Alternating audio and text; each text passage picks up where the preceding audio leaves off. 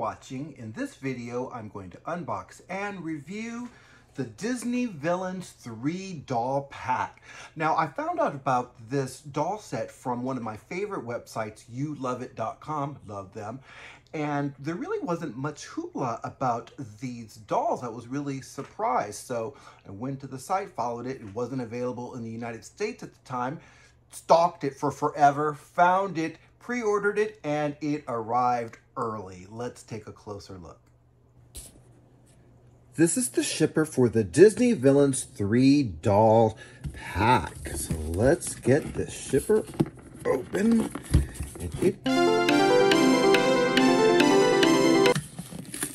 There we go. All right. Ooh, I'm liking what I see so far. And let's see. Ooh, what does it say? Contents, three dolls. Cool. All right, so let's see if we can get the box out of the shipper. All right, what's the back of the... Oh, no, maybe not. Just says Disney Villains. Interesting. So this is the box. Let's see, we turn it around. Oh, here we go. All right, so we've got all three of our characters. We've got the Evil Queen, Cruella de Vil, and also Yzma. So I'm going to go in so that we can see the artwork. And of course, you can read about the characters. We'll start with the Evil Queen. And if you want to read the information here, you can go ahead and do that in the language of your choice, no doubt. Also, we've got Cruella de Vil, and I'll go down here so that you can see the information on Cruella. Next, of course, we have Yzma, and I'm going to scroll down. Oh, I love her body. Scroll down to Yzma's information right there. And also, of course, we've got the information for Mattel and all of that stuff here. I'm going to return to the box. Let's flip it over to see the other side. This is actually a really nice box. I love all the colors and stuff that you can see. And of course, we've got the Disney villains here. So let's get the box open. And it looks like we've got a little tab here. So I'm going to open the tab. I don't want to tear the box. I don't know if I'm going to keep the box or not. So until then, I want to keep it not. Ooh, looks like there's even more boxing power packaging artwork inside. So let's see, that's really pretty. I'm to pull the out and ooh, we've got our dolls. Gorgeous, gorgeous, gorgeous. Going to pull out so that you can see all three in this set, and they are 1-6 scale. Now, I'm going to go in, of course, so that we can see our characters. We've got the evil queen here, and we also have Cruella, loving, and of course, Yzma. I'm just going to go down so that you can see what I am seeing, and I am loving what I am seeing so far, and looks like I see shoes. And what about you, Yzma? Do I see shoes here too? I see shoes.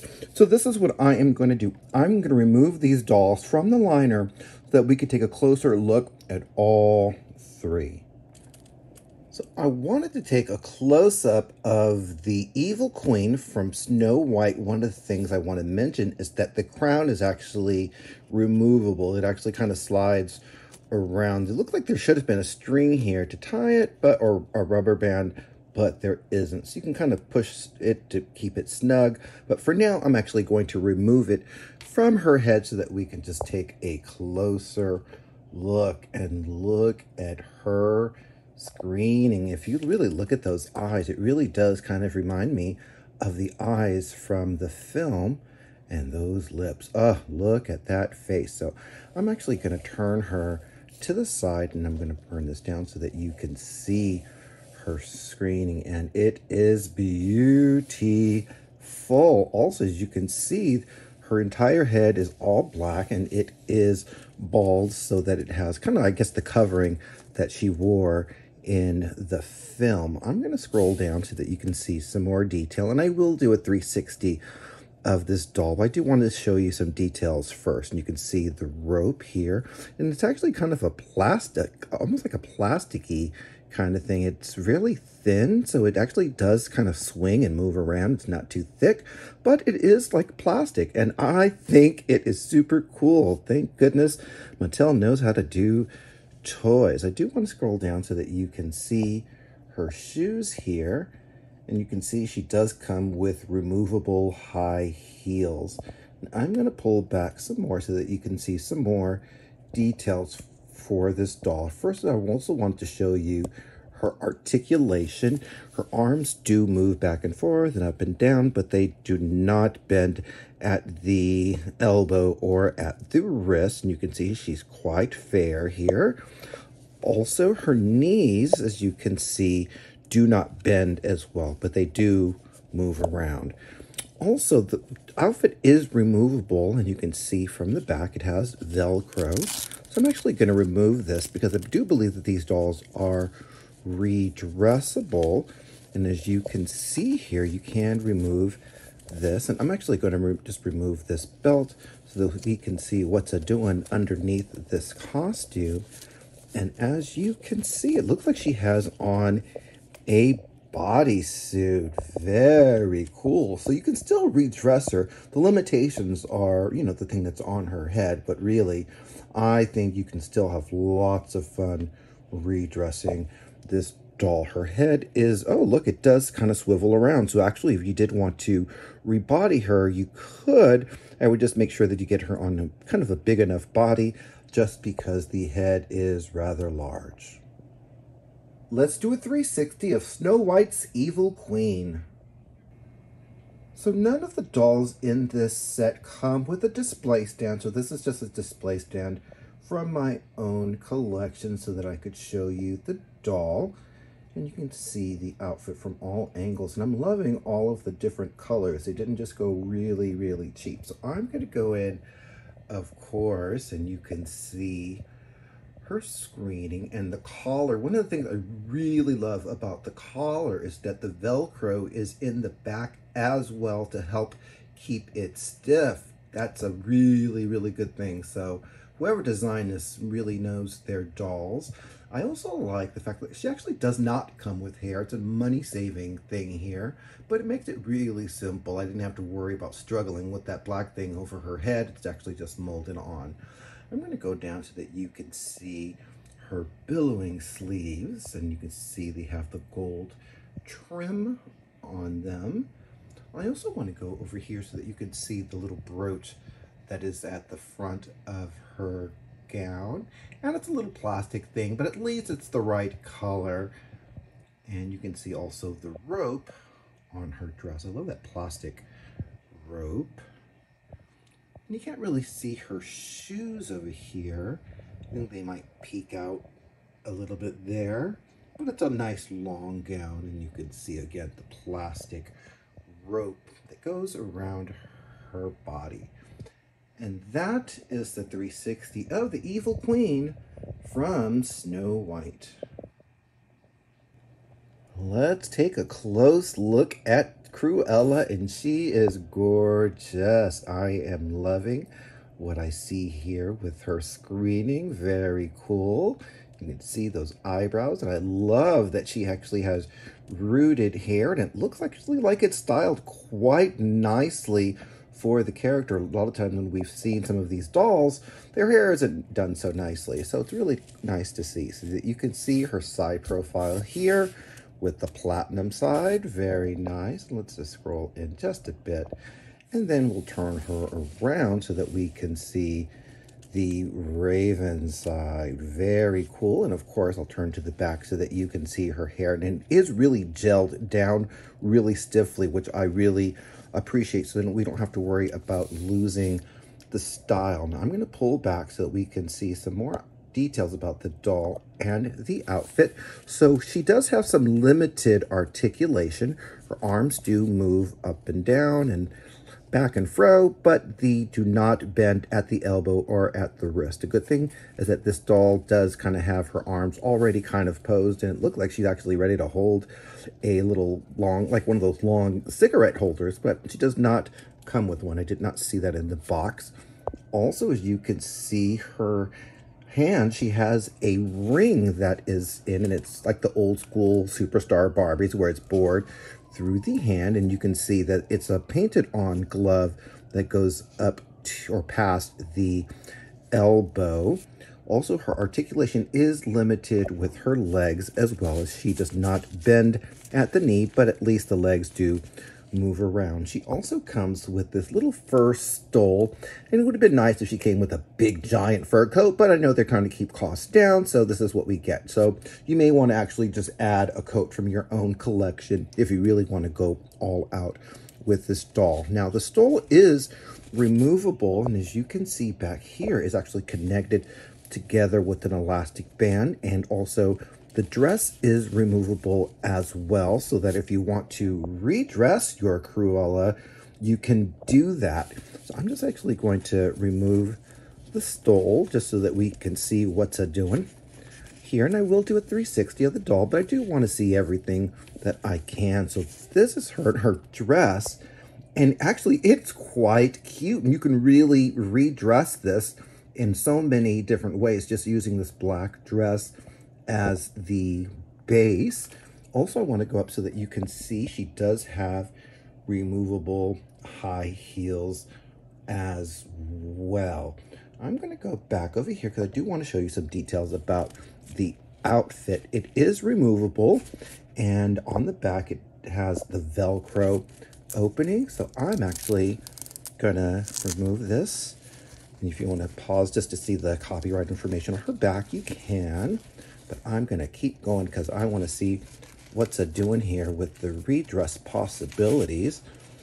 And let's see. So she's nude. Actually, so she is a nude doll with the molded on panties on to the doll. She does kind of have that Cruella de Vil shape to her, which is great, but you can still redress her in a lot of different outfits. So very cool. Let's do a 360 of Cruella de Vil from 101 Dalmatians. The dolls in this set did not come with display stand, so this is just a display stand from my own collection. And you can see this doll from all angles. I'm loving the hairstyle from behind. I did, do wish she did come with a longer coat, but I understand they're trying to save money. Let's go in on the screening and the hair. I am loving it. She has got that grin, but she's still pretty, and they really did a good job with the head sculpt, and you can see the hair. Again, they did a really good job with the hair, and you can see the stole here, but I want to go in again on the screening. Look at those cheekbones. Oh, gorgeous, gorgeous, gorgeous scroll down so that you can see some of the detail like the ring and also the gown and the shoes which they have with the little clips on there. Thank goodness. I'm going to keep those on there for a while. Also the stole is lined with the red and you can see that. And of course loving this black gown that they have on her in case you want to see also some details with the hair. Really pretty. They did a really good job. I'm just like really in shock here. You can see also the open hand, which I'm actually going to start putting like a cigarette holder if I can find one and all sorts of goodies in her hand. And of course, her high heel shoes, which are removable. I love that these dolls are redressable. That is, I'm not sure what shoe is going to fit, but the fact that she can I'll just go hunting and find out what actually fits. Very cool. And that is the 360 of Cruella de Vil from 101 Dalmatians. I wanted to take a really close look at Yzma, and as you could see, she's got the face, face, face. This is her side profile. The earrings are plastic and they are they move around, and it looks like her ears are pierced. If you wanted to actually remove them, you could, but I don't know how it would work with trying to get those back in. I don't see, they're not like really easy to come out. So I'm assuming they're kind of plugged in there. I'm going to turn her to the side so that you can see her side profile, move her earring, and you can see she has got jaw lines for days. Look at that. Yum, yum, yum. Love it, love it. Also, this little fur thing is removable, so that if you want to redress her, you can. So I'm actually just going to remove that so that we can take a look. And look like it's actually glued. So I'm going to move that, and I'm going to pull back again so that you can see the gown that she is wearing. And what I love about this is just a simple black base of a gown so that if you want to actually um, put accessories or anything like that, you can. She does have limited articulation, so her arms do move back and forth, up and down, but they do not bend at the elbow or wrist. The good thing is that they are in a nice fashion pose so that you can kind of still have fun playing with her in different ways if you want to set up scenarios on all that. You can also see her body is really exaggerated, just like it is in the cartoon. And I absolutely love it. You can also see the dress is removable in the back with the Velcro. Before I remove the dress, I actually did want to show you also the split in the front. And it is quite nice and gorgeous. This dress is actually really really pretty. And I'm going to go in also that we can see her removable shoes. So very, very nice. I'm going to pull back some more because I do want to see what's a doing underneath this dress in case we want to do redress her in the future. It looks like these got some glue dots to kind of secure the dress here. And you can see, oh, she looks like that Madam poster with a, remember that Madam poster? so let's remove. And as you can see, she does not have on like visible panties, but she does have on the molded on. Look at that waistline. Wow. Even the camera doesn't even know what to do. Let's do a 360 of Yzma from The Emperor's New Groove.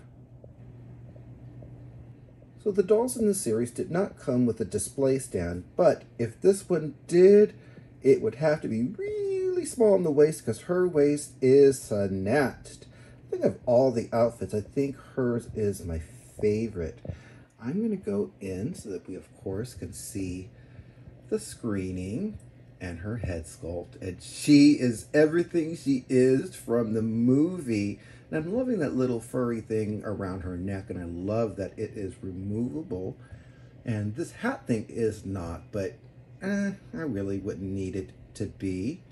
You can see those earrings, and I'm going to, of course, go in so that you can see that crazy face. Ah, love it. I'm going to go down so that you can see also her, look at that little tiny little waist and that little arm, the bony little arm. And of course the back of the dress is really long and billowing and I love it. Let's go to see that teeny tiny waist again. And actually let's take a look at the front of the gown. You can see the removable shoes. Very nice.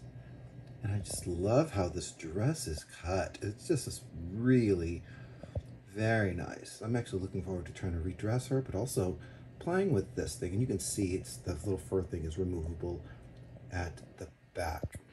And that's the 360 of from The Emperor's New Groove.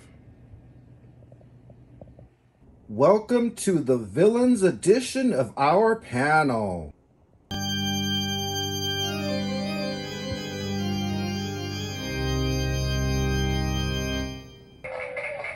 First, we have Ursula the Sea Witch.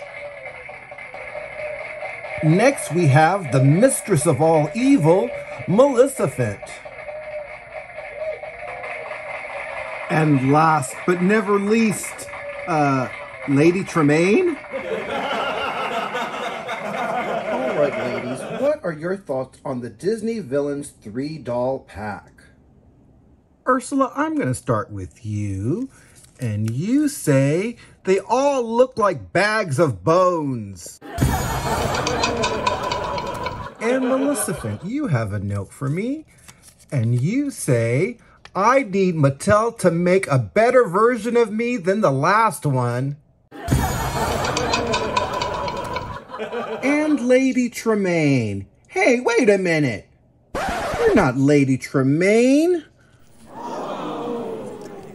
Look, it was Alyssa with a mask on all the time.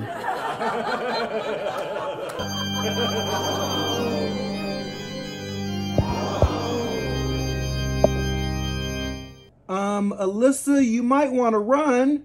Molly, you in danger, girl.